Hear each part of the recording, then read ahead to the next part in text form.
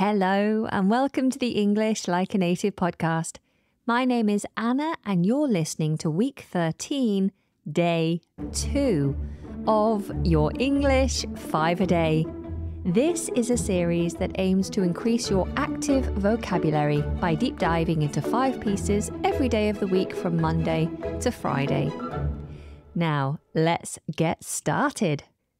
The first word on our list today is a noun, and it is advocate. Advocate. So this is spelled A D V O C A T E. Advocate. Advocate. An advocate is a person who speaks for, supports, or represents a person or a group of people who may need extra help or protection.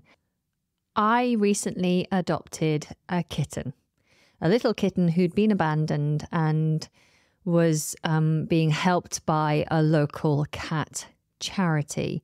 Now, I've been following this particular charity online for a few months and I have become an advocate of what they're trying to do, an advocate of all these poor little pussycats. So I was more than happy to opt to help out so I went and adopted this kitten and made a, a generous donation and have been looking after this kitten who is now a member of my family. So I am an advocate of that charity. I support them.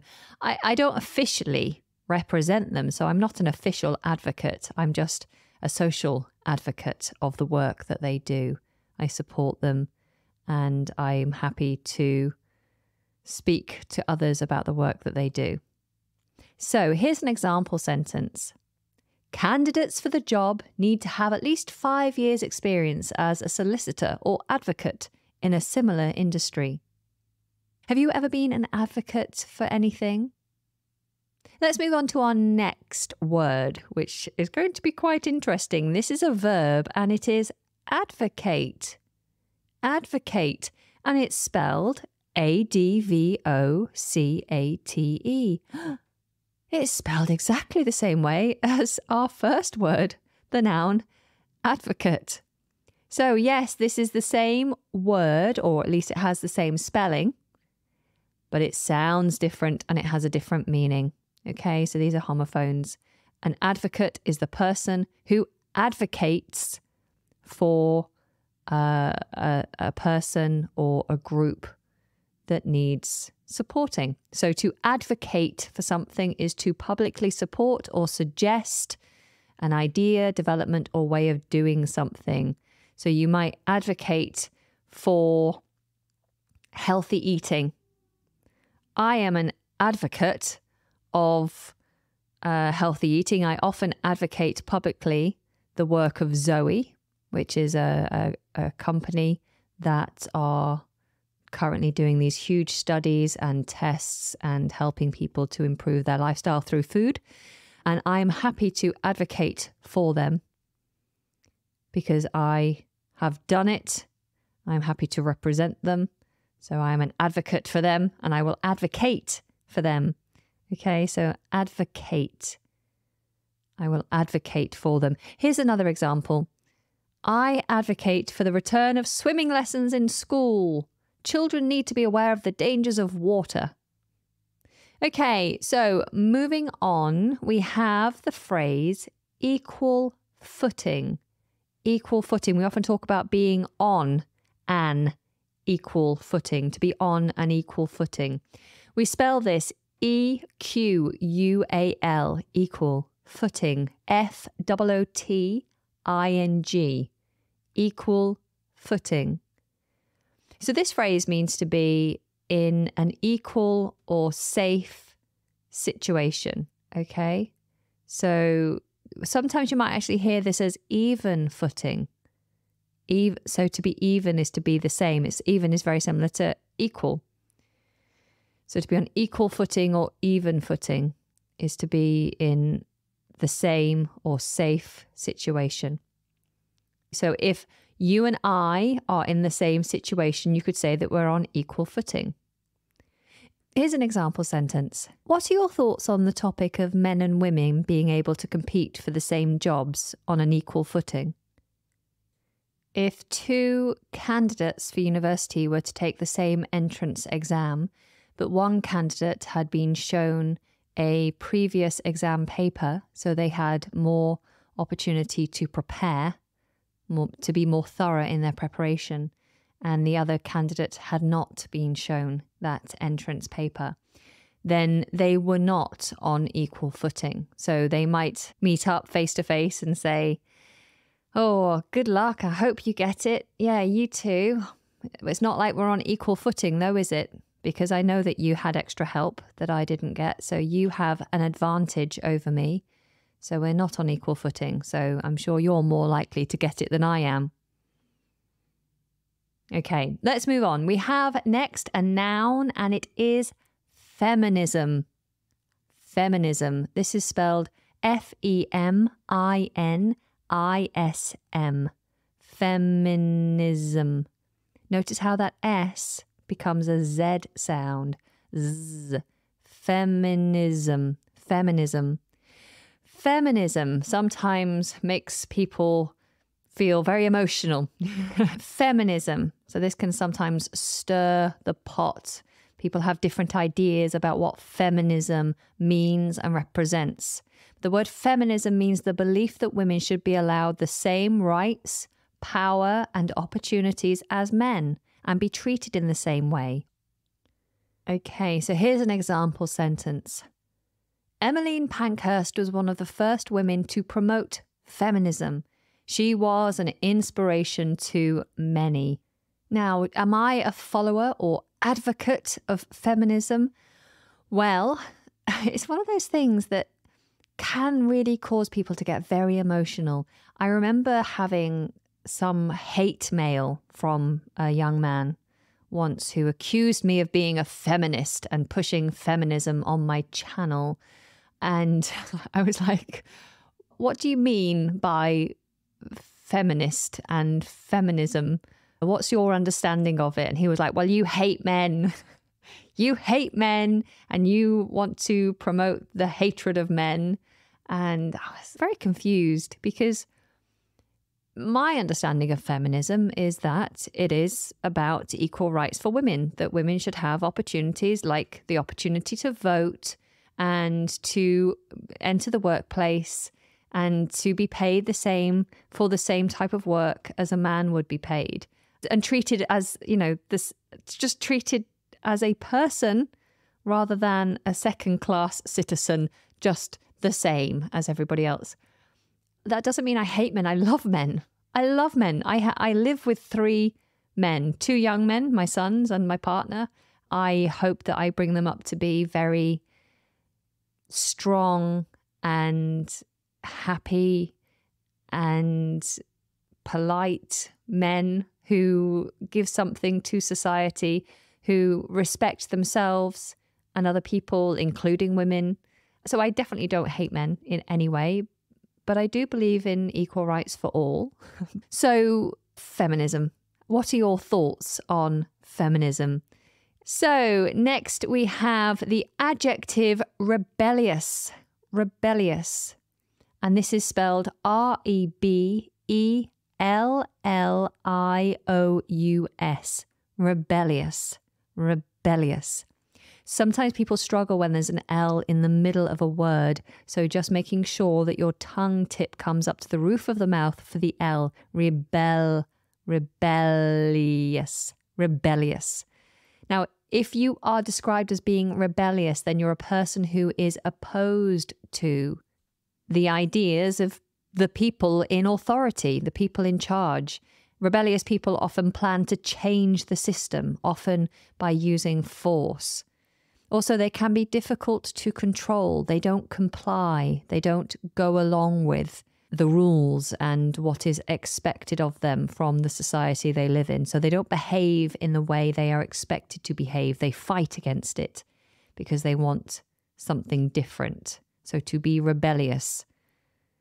Here's an example sentence Marianne's teacher regarded her as a rebellious, troublemaking student.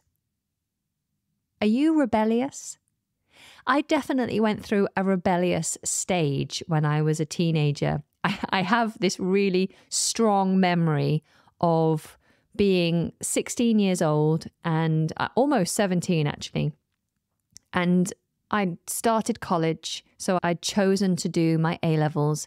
And that was my decision because in this country, at least when I was studying, once you finish school, high school, secondary school, then you're done with education unless you choose to continue. So education beyond 16 is not compulsory, or at least it wasn't.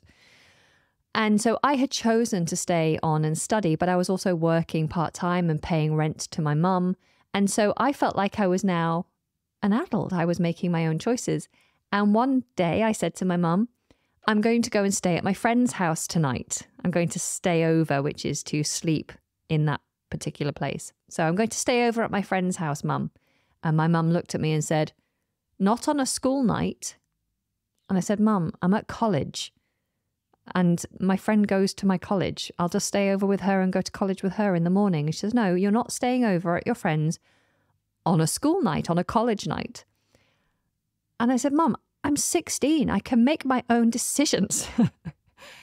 and so at that point, I just decided that I was the master of myself, that I was no longer going to be told what to do. I would still respect my mum, but she was no longer in control of what I did, as far as I was concerned. But my mum did not agree. And I remember having this huge argument and her chasing me out of the house saying, You're leaving this house. If you don't want to live with my rules, then you're not living under my roof. And saying, Give me your keys. And me saying, No, I won't give you my keys. it was very dramatic. It should have been in a soap opera. But I was definitely in a rebellious phase at that point in my life when I was just trying to find my own voice and my own way in life. And I started pushing back against my authority, which was my mum and, and my dad.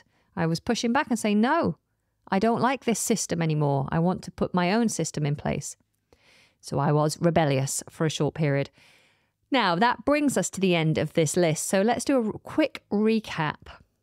We had the noun advocate, to be an advocate, someone who speaks for and supports and represents another person or group of people, usually those who need help or protection.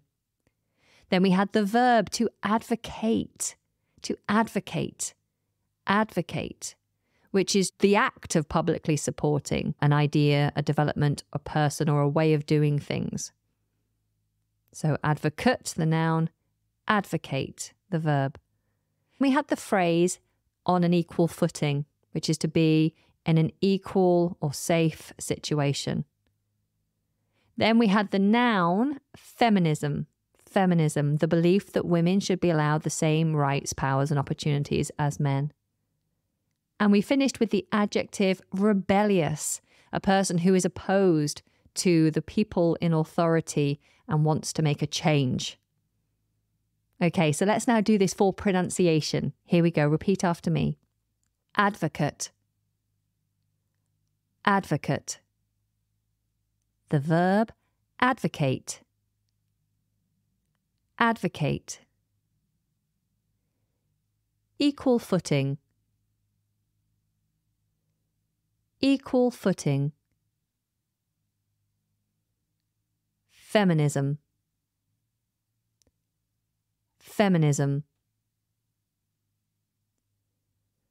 rebellious, rebellious. Fantastic.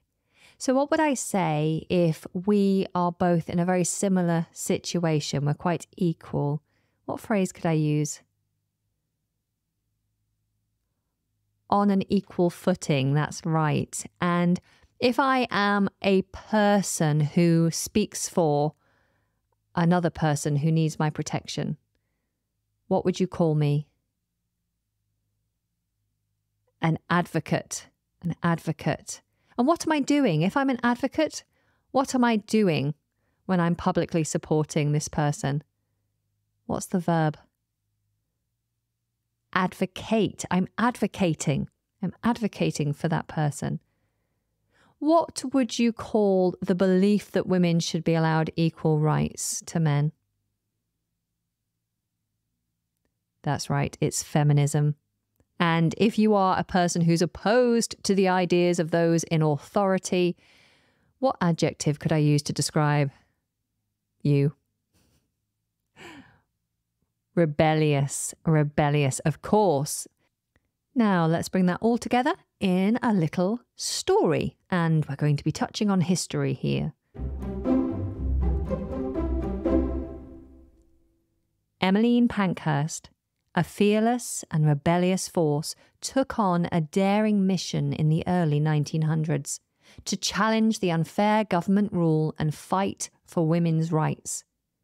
With pure determination, she became a prominent figure in the feminist movement, advocating for gender equality and social justice.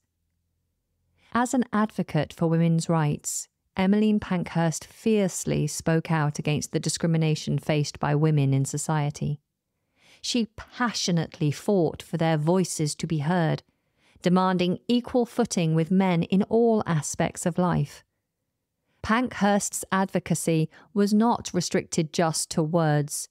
She took bold actions that captured the world's attention. Her active approach ignited a spark in the suffragette movement, pushing boundaries and defying societal norms.